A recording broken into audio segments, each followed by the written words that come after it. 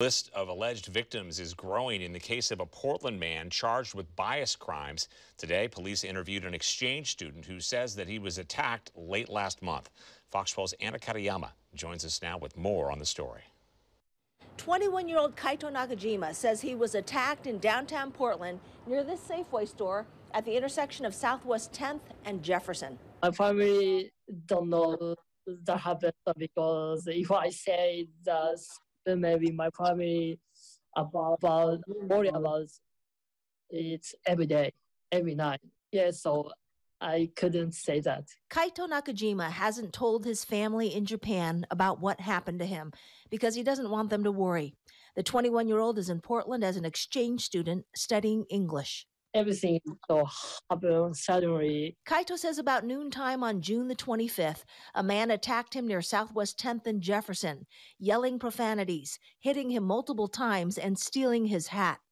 In shock and not sure what to do, he initially didn't report the crime, but his host family was concerned. When he told us about it a few days later, and we started saying, This is assault, this is theft, this is serious, this is really serious um, you need to report this. And he was really reluctant. But after seeing news reports about Dylan Kesterson, a man accused of attacking a five year old Japanese girl and her dad on the Eastbank Esplanade, Kaito says he recognized Kesterson as the man who had attacked him in late June.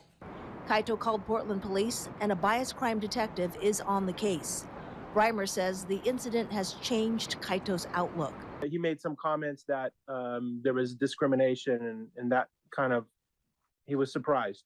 You know, I, I think he came to Portland in America thinking that um, he would be safe and everything fine. Kaito has five more months of study left in Oregon before he goes home, and he does worry about his safety.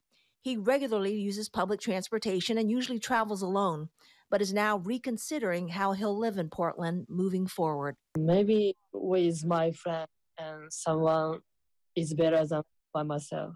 If you have been the victim of a bias crime assault or if you're witnessing one, police do want to hear from you.